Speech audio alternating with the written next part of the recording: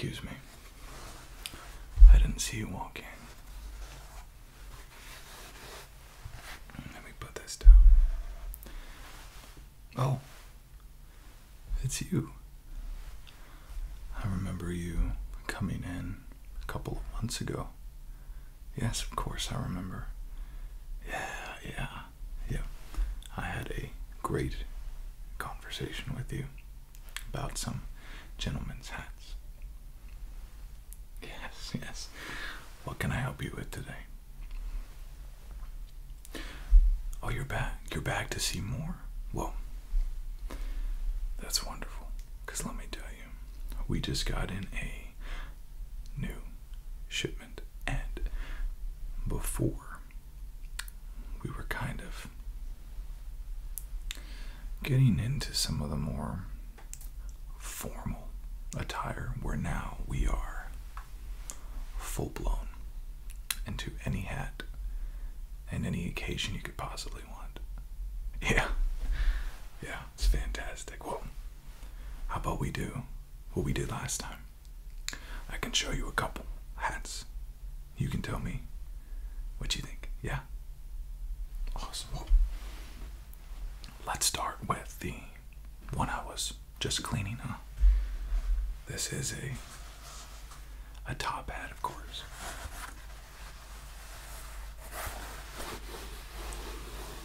Wool all throughout. Structured. Pretty firm.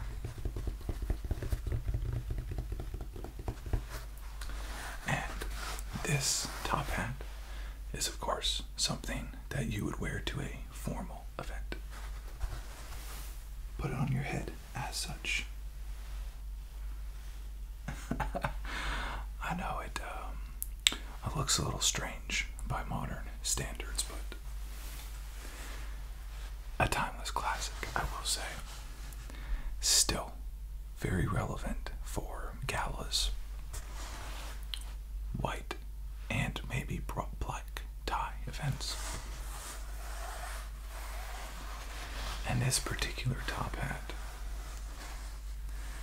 is actually referred to as a sort of ferryman's hat and or a coachman's hat and a regular top hat can be much larger.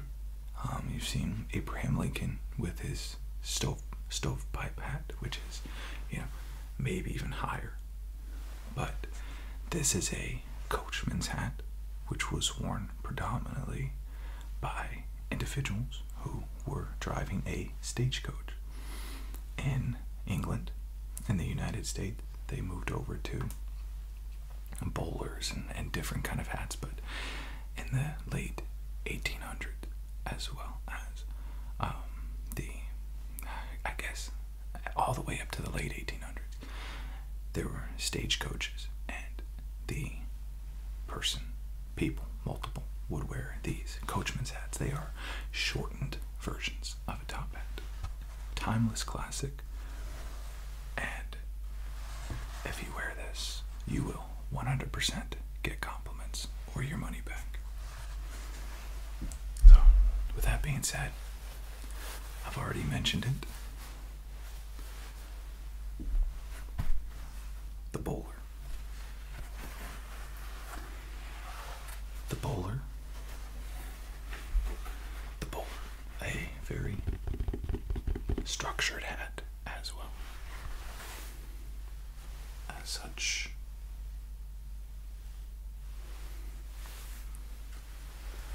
legend goes that a duke or a prince, don't remember which, wanted a hatter to design something for him to wear that would not be obtrusive, would not stick up from his head uh, to get knocked off by tree branches. He wanted something that was smaller, efficient, and able to withstand a thud if need be. And the Hatter came back with a bowler. While they say bowler, um, bowler was the name of the individual uh, who made that, not bowling as in strike, spare. This is a timeless, timeless piece that is still used in South and Central America by women. Women use this. A lot of hats were predominantly worn by women and then went up to be worn by men. This one was a hat that was made to be worn by men and is now predominantly worn by women. A bowler is predominantly worn by Venezuelan women, Southern and Central American cultures.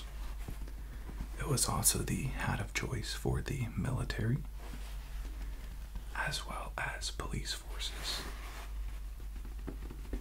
It is still used in equestrian sports as well.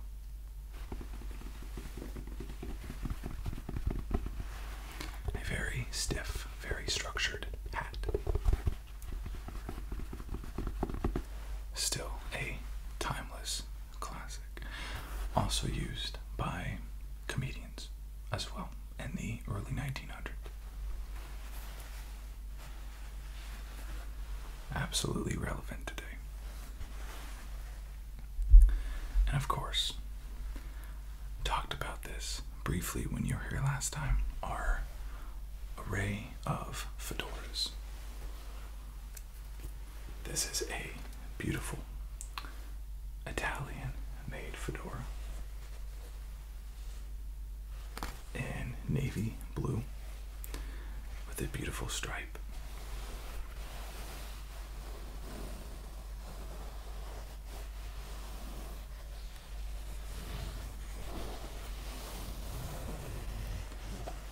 Last time you were here, I showed you the Homburg hats, which were predominantly worn in the early 1900s. And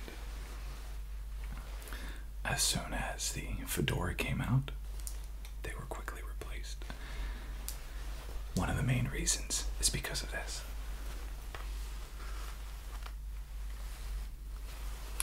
Totally crushable construction makes it easy for you to travel with It It makes it easy to wear it, comfortable, water repellent, and just phenomenal hat.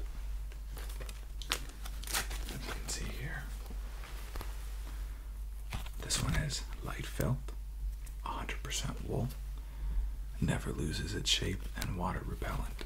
And of course, all of our hats come with these little strips that you can put on the inside of your hat in order to make the hat fit better.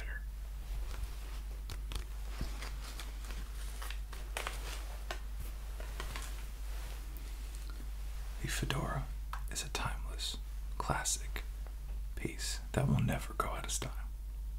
And you know what? While we're here, why don't we just, you know, talk about a couple of other variations of the fedora? This right here.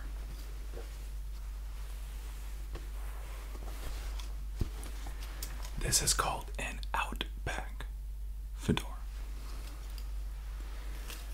An Outback fedora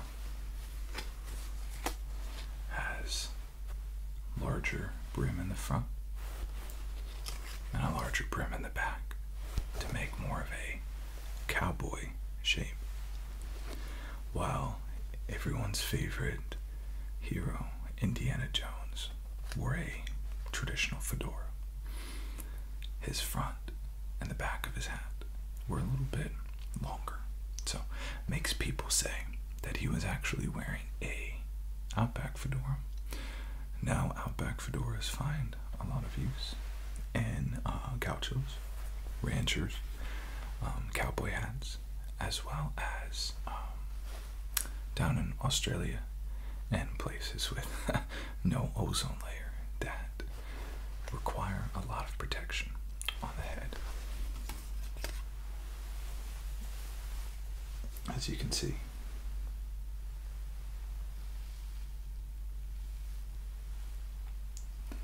Definitely a much larger hat, much larger brim. And that may be appealing for some,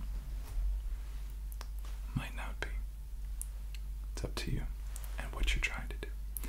Fedora, as a whole, is a very elegant hat. Now, back then it was casual hat, but now people see the fedora as being quite an elegant type of hat, and the Outback fedora kind of is not that. It's much more casual. So, some people would be attracted to that, other people, mm, not so much. Okay. Let's talk about our last fedora based fedora based hat. You have this right here. I I told you about this last time, but I didn't have any to show you. This. This is a trilby. People call these fedoras. These are not fedoras. They look like fedoras, but they're very different. They have a similar structure as a fedora, but they're also very different in the fact that they have an upturned brim, and even if the brim was not upturned, it's much smaller than your traditional fedora. This particular one is made by Kangol and is our most popular model. A fedora look-alike.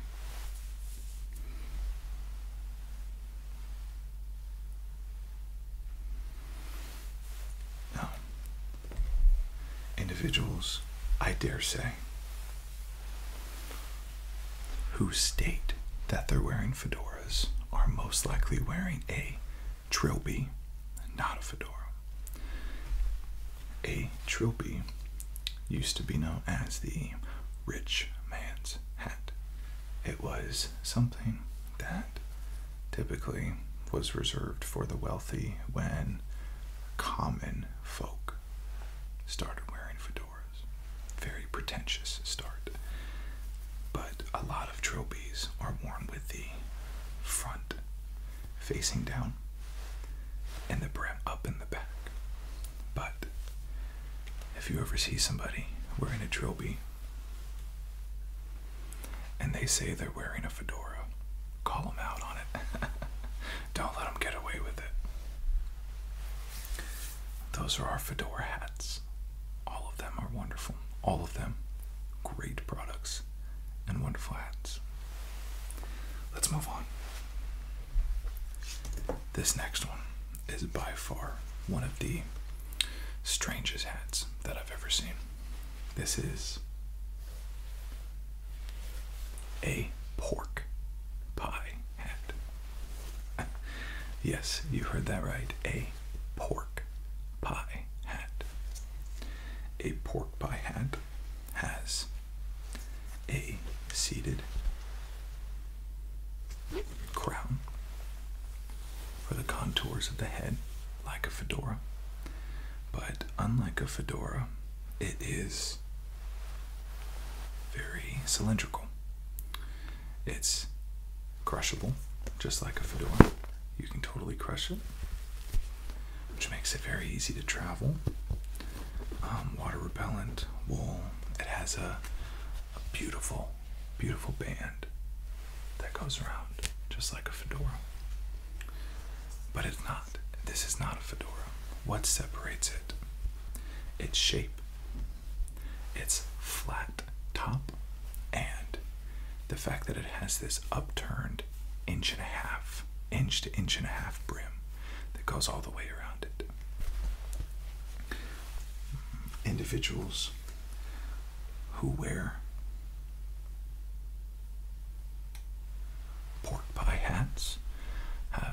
tended to be individuals who wear these hats casually. These hats are very, very difficult to make look good while wearing a suit. They're very difficult. Um, worn by jazz musicians, a lot of jazz musicians. If you remember um, Jack Frost, the old Christmas movie with, uh, was it Michael Keaton, was it? Uh, he wore one of these. Um, if you remember, um, Breaking Bad, Walter White, he wore a pork pie hat. Pork pie hats typically have their they have their fame, but typically it is a casual-ish hat that could be worn both, but has been worn almost exclusively as a casual hat. That it would be difficult, be difficult to sell with a suit. Um, certainly never at a black tie event or a tuxedo. However, they're very comfortable. This particular one, Michael Keaton and Buster Keaton. I want to say Buster Keaton. Wasn't he the actor in the 20s? I think he wore one too. Don't quote me on that. This particular one is made by Robert Graham. Very ritzy in his own right, maker and design. Call it a pork pie hat because it resembles the dish pork pie. Can't make it up, even if I wanted it to. Well, we only have one more hat that I have that you didn't get to see last time you were here. And it's probably one of my cooler ones. Let me show you. This right here is a boater hat. If you look at this and you say, that looks like the hat that the gondoliers use, the ones that row the boats in Italy, you'd be right. This boater hat comes from that.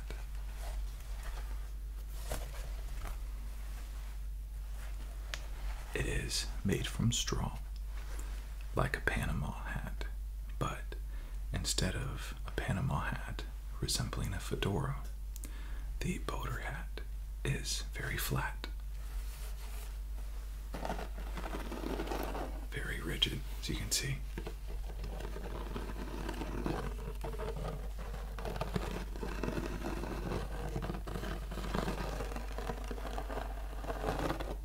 Has these big looping construction all the way throughout, firm all the way through.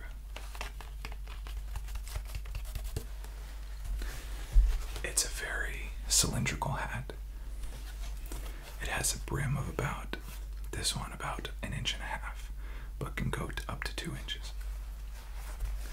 It also has a very nice, elaborate stripe band that goes around it.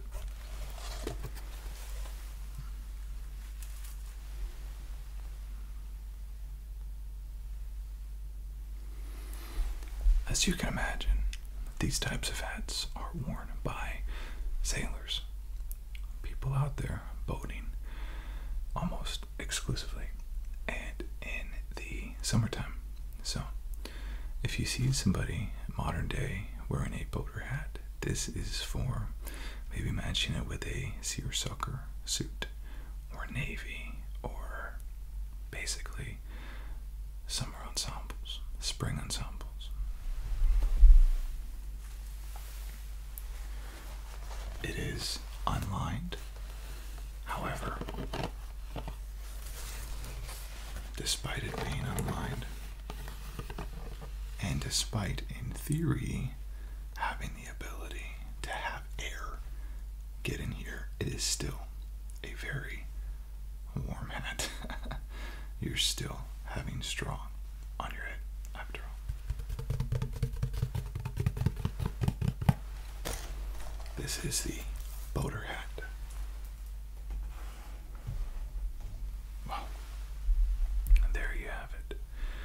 we went all the way from super formal with the top hat down to the bowler to our fedoras and then to super super casual with the boater hat and the pork pie. As you can see this shop carries everything that you could need from black tie events tuxedos all the way jeans, wearing jeans, um, kind of ensemble. You have any question? Yes, I, I do have a, a tendency to favor the fedora. The fedora, in my opinion, is just the king of hats. Phenomenal hats. Well, it's been a pleasure having you back. A wonderful, wonderful pleasure and a great, great conversation as well. Let me tell you, you are welcome back anytime. Come back, maybe in a couple months, and I might have even more to show you. And of course, if you want anything, just let me know. I'll talk to you soon. You're welcome. Bye bye.